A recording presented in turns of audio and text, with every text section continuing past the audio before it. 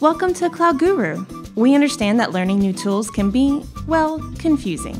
So we put together this quick overview to help you find your way around. First things first, you can access your dashboard here, ah, where it says Dashboard.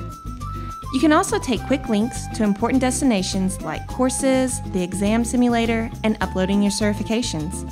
We're very proud of your accomplishments, and you should be too. So don't forget to upload your certs. While you're at it, upload your profile pic and tell us your story. Well, the relevant parts. If you have special skills like lion taming or Olympic level basket weaving, that's utterly amazing, but doesn't really apply here. Looking for courses? You can find them all here under the cunningly named Browse Courses.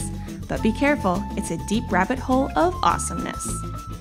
Geek out with fellow gurus in our discussion forums. Remember, we're a community, so please be excellent to each other. You're awesome, our program is awesome, but sometimes it hits the fan, no matter how much awesomeness is flying around. And if that happens, our support team is here for you. We keep your recent courses here, front and center, so you always know where you left off. You won't have any courses yet because, well, you're new, and that's okay. This is a safe space. Tell us a bit about where you are and where you want to go, and we'll throw a few life changing courses your way aligned with your hopes and dreams. Not ready to commit just yet? You can also browse our latest courses, AWS This Week, and so much more.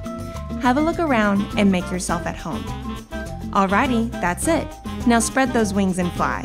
And remember, keep being awesome, Guru.